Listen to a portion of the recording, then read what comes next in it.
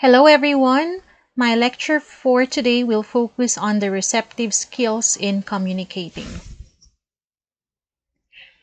So as you can see in the diagram, there are four macro skills that we need to enhance in communicating. So these are listening, speaking, reading, and writing. So as you can see in the diagram, spoken communication covers listening and speaking, whereas written communication centers on reading and writing. Now, if you take a look at the column, the input would cover both listening and reading, and that is what we call as the receptive skills. Whereas for the output, we have both speaking and writing, and that is what we call as the productive skills. Now, overall, we have to pay attention to enhancing all these four macro skills of language learning in order for us to be considered as good communicators. After all, that is the purpose of taking up this course, Purposive Communication. For a deeper understanding on the receptive skills, which is critical reading in particular, I would want you to take a look at this short video.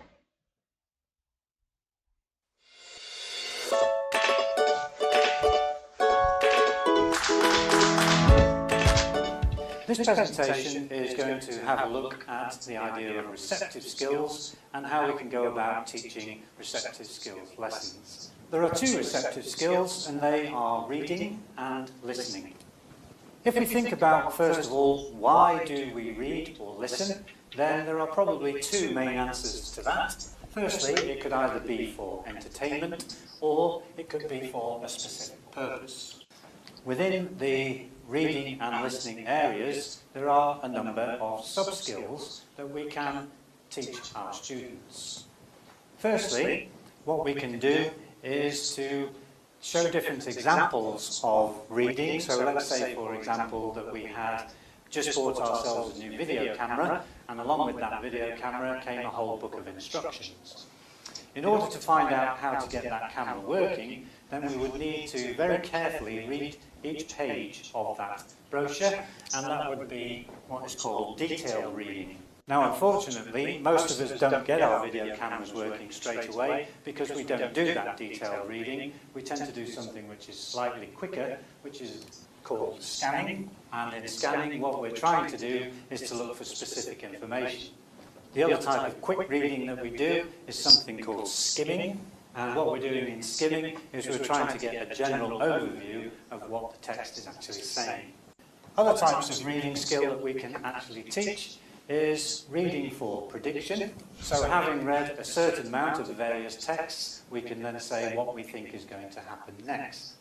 Um, the final one for deduction, so from the information that's been given, can we make some form of inference, for example, about who actually wrote that?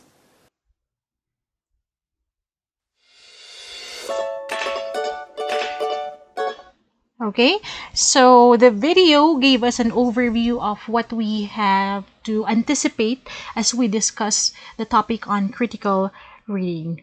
But overall, the receptive skills would cover not only critical reading, but critical viewing and media literacy as well.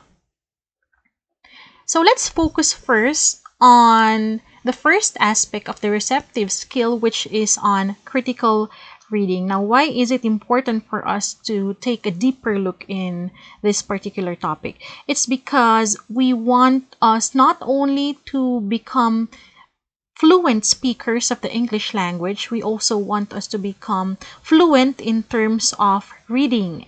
And when we say fluency in terms of reading, we focus on the speed of one as he or she reads. In addition to the speed, of course, implied uh, impliedly, we take into consideration also the level of comprehension. Okay? So, what then are the secrets to become a critical reader? As discussed in your modules, here are the seven useful tips. So, let's take them one by one. The first one is for you to become part of the writer's audience. So please take note that every writer, every book, every author, every reading material has its own or his own writer's audience. So these are the audience or the readers rather with which the books are intended to. Okay? So if you are a reader, you choose something that interests you if you are pertaining to entertainment. Whereas if uh, you are looking for information, you choose a book or a reference that would give you crucial facts about your respective field. So, for example, if you're an HRM student, you would look for references that would be helpful in the hospitality and tourism field. Whereas if you are a social science student, you will look for references on political science, on communication, on psychology, and the likes. Okay? So we become specific target audience of respective authors. Number two, prepare to read with an open mind. Now, we have to accept the fact that not all the things that we read may or may side with what we believe in, especially if that is an editorial piece. So, in order for us to have a wider understanding about specific topics, we have to be open minded in terms of the ideas that each unique author has, and we have to respect that. Okay? Again, we may have similar ideas or we may have differing ideas with respective authors. So the bottom line here is we have to be respectful and we have to be open-minded. Number three, consider the title. So most often than not, the title would be reflective of what the book or what the material is all about. That is why, for example, in research, we have to, as much as possible, be straight to the point. Uh, we have to make use of maximum of 12 words only, ideally, in order for us to tell what a particular study is all about. Okay? It has to be reflective of the contents of a particular piece. So the title is effective if it summarizes everything about a particular book. Next, book or material. Number four, read slowly. Like the adage says, slowly but surely, right? It is not a reading, a speed reading contest. Okay? Not unless, of course, you are in a rush and you are only looking for specific facts, like what you do when you are skimming or scanning. Ideally, we have to read slowly, and that is the edge of reading over listening. For reading, we can always go over the materials if we did not understand what it's meant, what it has meant during the first reading. Unlike for listening, that if the communicator has finished talking already or speaking, we cannot repeat anymore, especially if we we don't have the chance uh, to let him or her repeat what he or she just said, unless of course it's a podcast. Okay, so for reading, you absorb everything.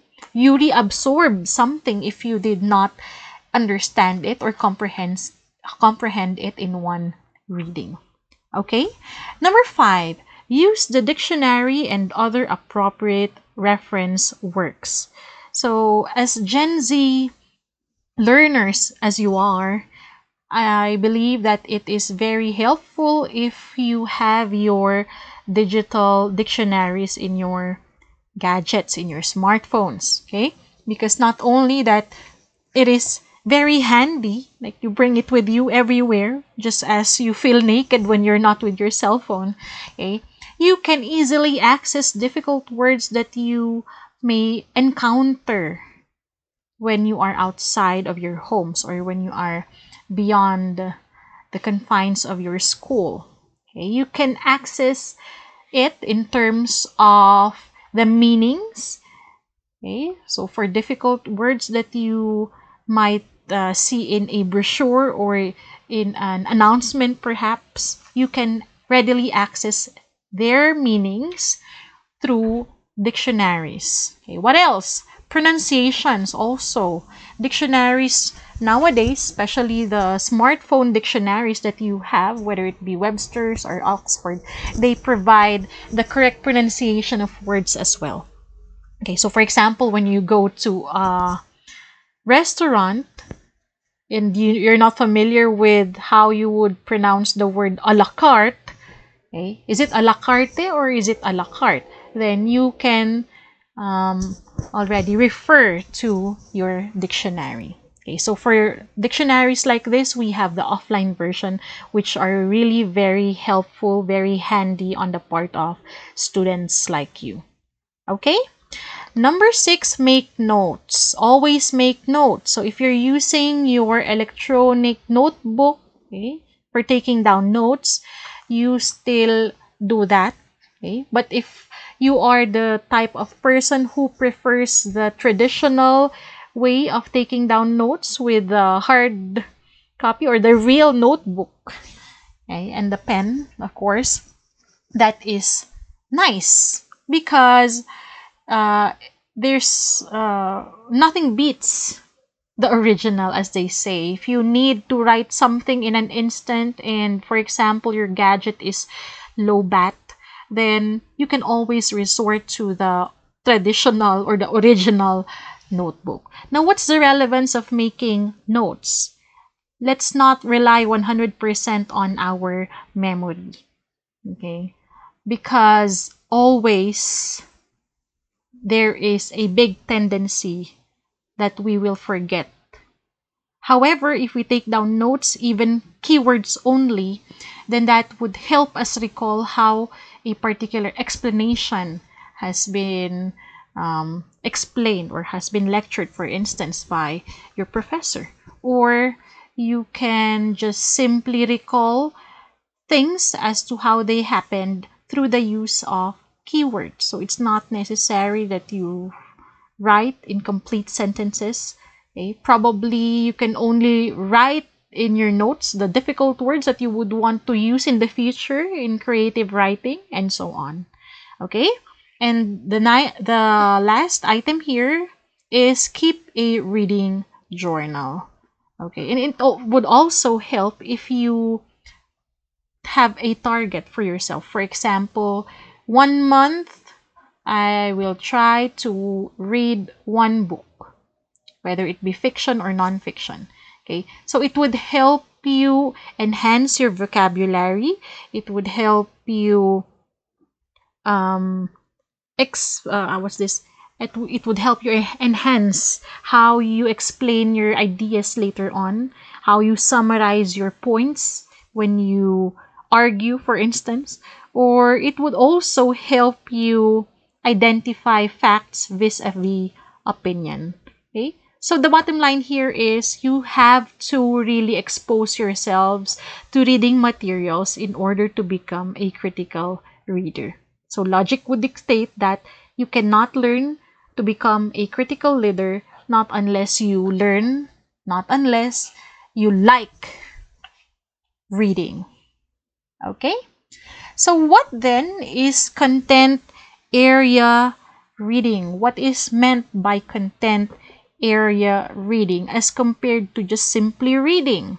So if we recall our discussion on the difference between hearing and listening, we mentioned last time that hearing is some is is what receiving information merely receiving information through the use of your ears whereas when you listen it entails more attention on the part of the receiver of the message so same is true for content area reading.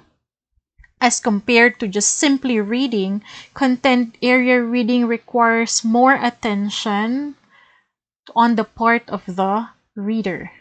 So one goal of content area reader reading rather is to get students to think as they read. Okay?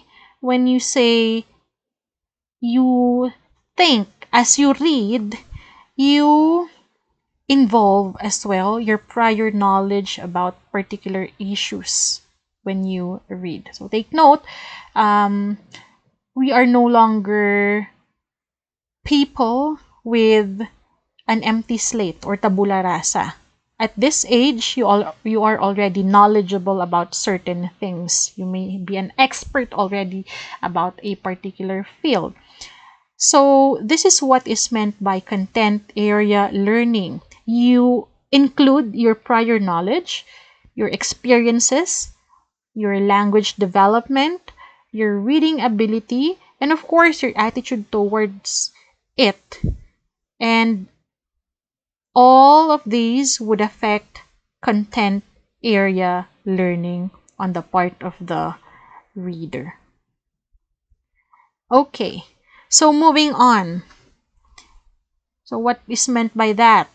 If you perceive something to be hard in terms of reading, then obviously it would make it difficult for you to understand. So proper mindset would also count. So what is meant by text features then? According to Faber in 2015, authors often organize their text by patterns. So what are these patterns? Okay.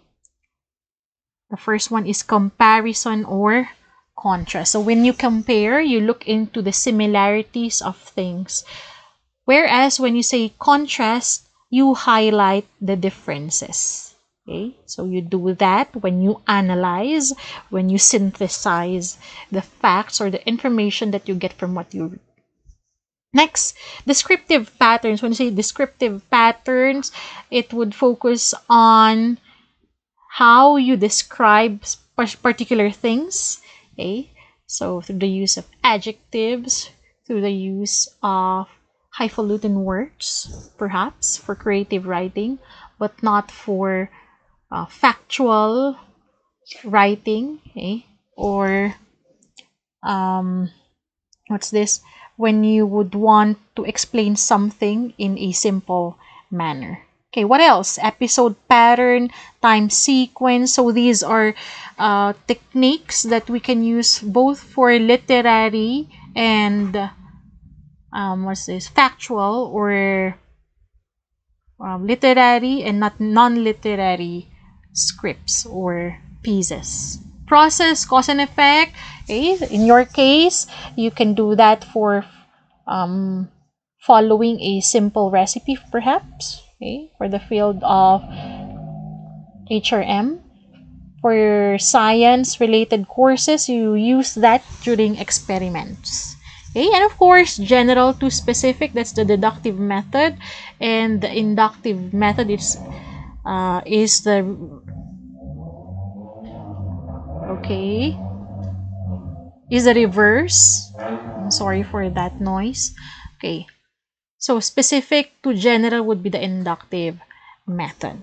Okay? So what are text features in the first place? They would differ from subject to subject. Again because they are uh, there are many factors such as jargons that would affect how you understand a specific text. What are jargons again? So jargons are terms which are exclusive to a particular field. Okay, so what then are reading strategies that we can look into? The first one is previewing.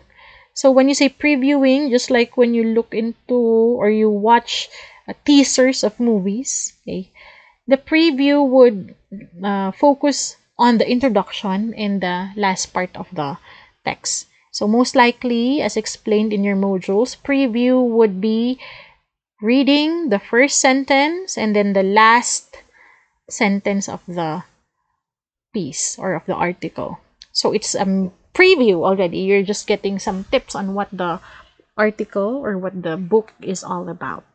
Okay, the next one is reading for main ideas. Okay, so we do that when we synthesize, we combine ideas, we use our own words as much as possible.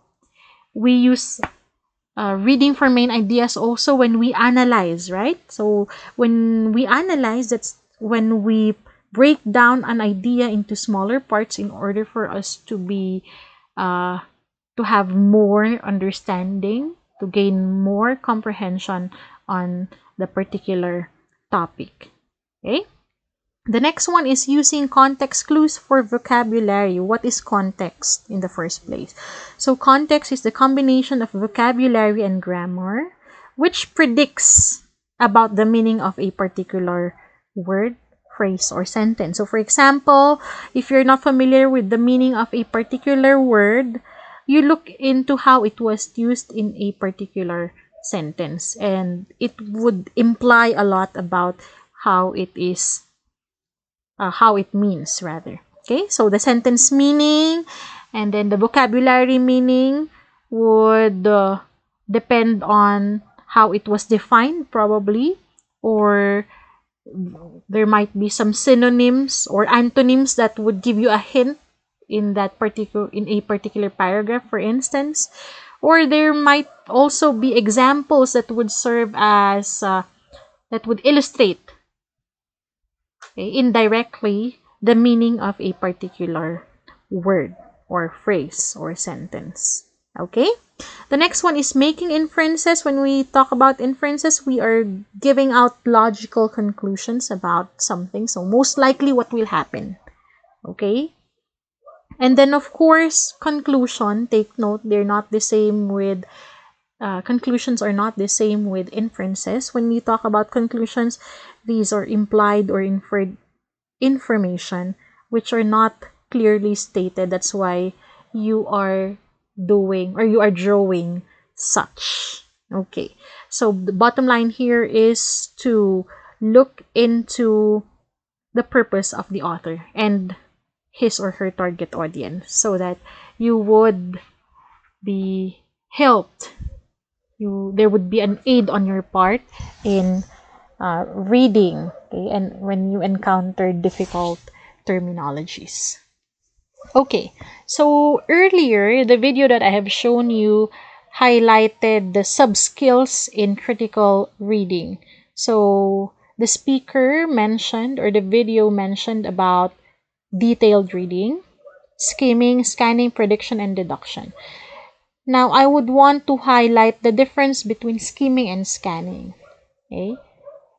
Yes, they both use rapid eye movement and keywords through text. However, they have different purposes. When you talk about skimming, it is when you read rapidly in order to get a general overview of the material. Okay? Whereas when you say scanning, this time it refers to reading rapidly or fastly in order to find specific facts. So let's have an illustration. When we talk about skimming, that's what you do when you read the newspaper. Okay? You don't read all the articles from first paragraph to the last, okay? From page 1 up to the last section of the newspaper, right? So skimming is what you call what you do. You only pick okay, a particular topic that interests you and then more often than not you only read the first paragraph up to the second paragraph perhaps okay so that is what is meant by skimming again you are just looking for the general overview of the material. For instance you're not really that into politics then you go straight to sports or to the entertainment right? And then you are not really uh, interested about finding out what happens about a particular story, you just want to get an overview, you look into the lead, okay, the first few paragraphs of the article. Meanwhile, when you talk about scanning, it's about reading rapidly, as I mentioned earlier. You look into specific facts. So that's what you do, for instance, when you look into the dictionary you just scan and look into the meaning of a particular word. Okay? What else? When you read a magazine, that's what you do. You scan the pages, and if a particular topic interests you, and that would hint you to stop and read for a while, right? So, again, scanning is just looking for specific things in the piece or in the article. Okay? That's the help of the items which are put in boldface in textbooks, for instance. If a particular word or phrase or subsection is written in boldface, that means to say it is um, very important or something that you have to remember. Okay, moving on. So the next lecture will focus on critical viewing. Again, for the receptive skills, we have three critical reading, critical viewing, and then media literacy. Okay, so thank you for watching our first lecture under the receptive skills. If you have questions, please type them in the comment below. Thank you.